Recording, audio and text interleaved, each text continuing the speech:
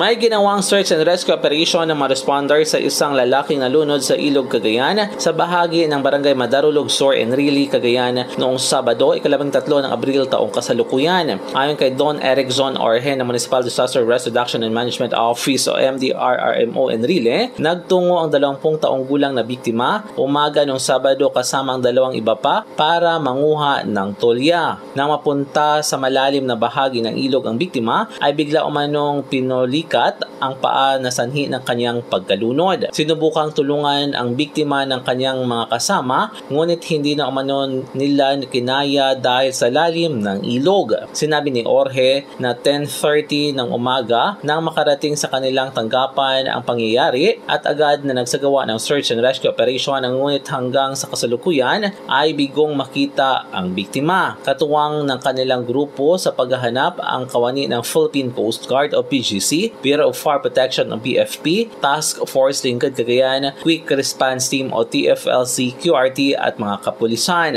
Mula dito sa Cagayan, M. De La Cruz para sa Radyo Alternatibo, Balita Nationwide.